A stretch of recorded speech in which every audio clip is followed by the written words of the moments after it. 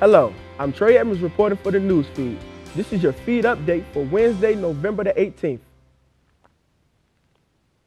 The Virginia Tech Department of Alcoholic Beverage Control is asking a judge to throw out a $3 million civil lawsuit over the arrest of University of Virginia student that sparked outrage when video of it surfaced.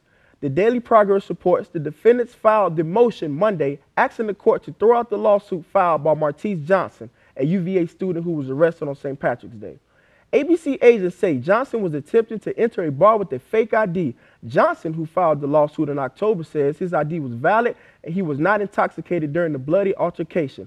Charges of public intoxication and obstruction of justice against Johnson were later dropped, and the ABC says the lawsuit fails to state any claim against the defendants and says that there was probable cause for his arrest.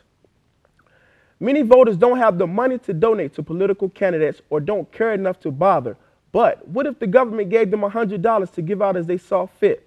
That's the experiment underway in Seattle after voters adopted the nation's first voucher system for campaign contributions.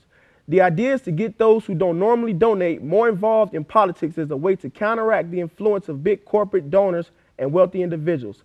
Seattle voters this month approved $3 million a year in property taxes in exchange for four $25 vouchers that they can sign over to candidates for mayor, city council, or city attorney beginning in 2017.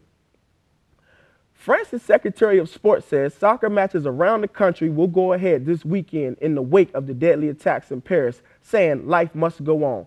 Thierry Braillard says in an interview Wednesday that calling games off would be, quote, exactly what these barbarians want. Referring to the gunmen and suicide bombers who attacked Paris last Friday night, Braillard says that French Football League president is totally in agreement with the decision. And while Friday's rampage led to sporting events in Paris and other cities being canceled, they will start back up this weekend.